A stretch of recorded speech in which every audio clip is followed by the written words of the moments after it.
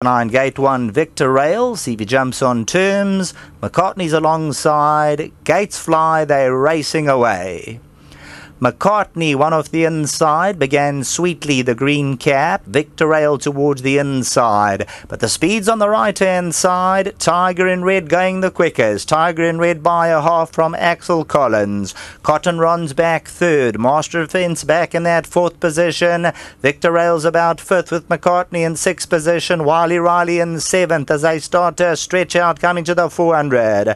Tiger in red along the outside. Axel Collins. Cotton run down down the middle. Victor Rail extreme inside now trying to get going with McCartney. Cotton Ron, Axel Collins. Tiger in Red's on the outside. A four-way go inside the 300. McCartney's running on a Tiger in Red inside the 200. Cotton Ron's there between them. Tiger in Red flat to the boards and here's where McCartney's going to try and nab them. Number two, McCartney going on for the win. Tiger in Red second. Cotton Ron, Wiley Riley.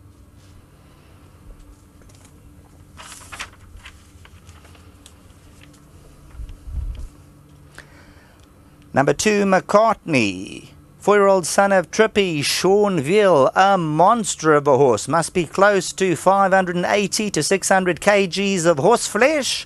Comes home best of all, Sean Veale. Drives this one home for Tony Rivalland, Mary Liley, the Klawervlei stud. Tiger in red second. The speedster, Cotton Ron ran third.